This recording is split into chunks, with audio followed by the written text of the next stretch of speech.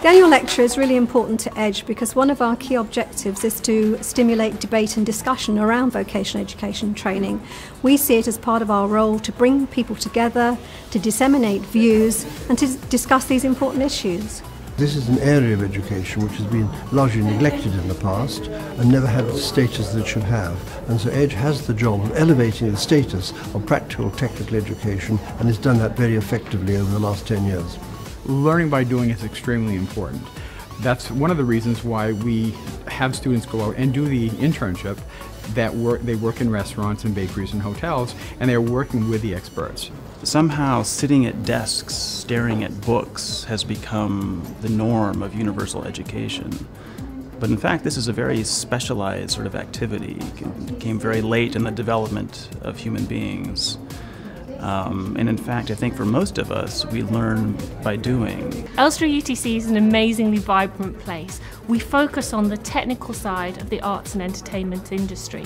Students gain hands-on experience working with our employers. Employers have co-designed our curriculum and students spend a significant amount of time out in the world of work practicing their skills. Other people read your involvement with us as being a real testament to what we're trying to do. And I think that's one of the really important things about the Edge Foundation. So we're deeply grateful for the money, but actually just as grateful for the association, which I think has enhanced both of us. I was here today with the students from Rye Studio School to talk about the future of education.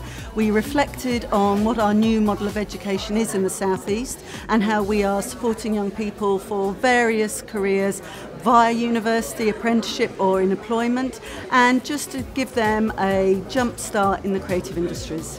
I decided to study at the Edge Hotel School because it's different to any other university degree because it has that hands-on experience. And I think I also chose it because it's a fast track degree which is just two years. And obviously you gain all experience in all areas of the hotel which gives you further insight into what you'd like to do in a future career. The Edge into Space Prize um, was a competition for school kids and I was lucky enough to win and I went to the United States for 10 days uh, visiting two NASA centers, visit, seeing astronauts, seeing the space shuttle land. It was a really amazing experience. And from that, I really got a, a motivation and a, a, desire to, to do that for a living and, and be a spacecraft engineer.